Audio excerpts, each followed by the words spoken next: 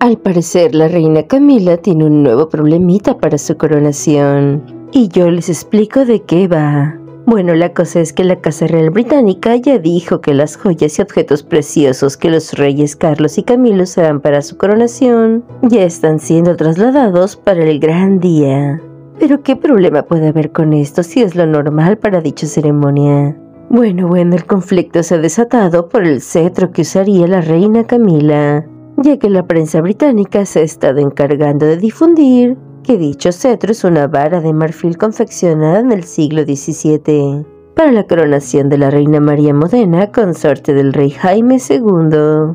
Y como el cetro es de marfil, la prensa había especulado con la posibilidad de que los reyes dijeran no a usarlo, y así evitarse toda la controversia que podría acarrear usarlo.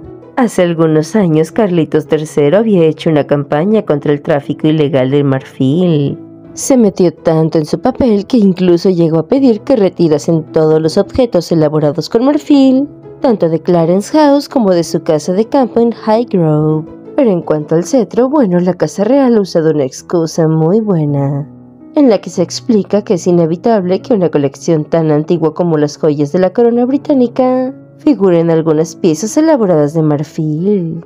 Aunque podemos recordar que en el año 2014 el príncipe William expresó su deseo de que todos los objetos de marfil de las colecciones reales fueran destruidos. Así que solo nos queda esperar que deciden sobre este cetro. Y hasta aquí lo dejamos mis joyitas y no olviden dejar un comentario, un like, pero sobre todo suscribirse que yo los estaré leyendo. Siempre suya la joya de la corona, bye bye.